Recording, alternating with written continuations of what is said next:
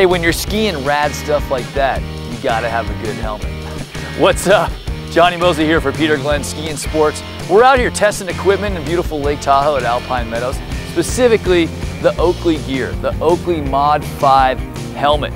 Great job. The first thing I noticed right away is the BOA system in the back. You're probably familiar with it, and if you are familiar with the BOA system, you know that sometimes it doesn't always hit you in the right spot in the head. Oakley nailed this. When you tighten it up, it hits you right in the front, right below your smart bump back there, and it just feels nice and snug on your head, and there's not a lot of room on the sides either. Really like the fit of this helmet. That's always really important. Uh, I said you needed to have a good helmet when you're skiing steep stuff like that, or groomers. This has got MIPS, man. It's got MIPS. You know what MIPS is?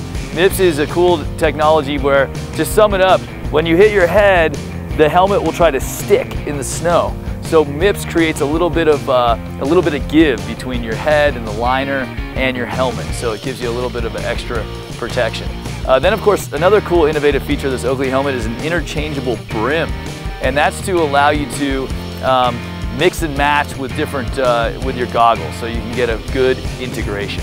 And then finally on this helmet, one of the things I like a lot is the FidLock clasp here. So when you buckle up your chin strap, you can do it with ease. All you have to do is get the uh, buckle close and the magnet just pulls the clasp together. Very cool. You can do it with your glove on. You won't pinch your neck skin or get your kid's neck skin. Very nice job, Oakley. I love it. Time for you to get a new helmet, all right? Walk in the shop. The guys are the best sales guys in the world at Peter Glenn, or just hit the button, peterglenn.com. Until the next run, I'm Jonny Moseley.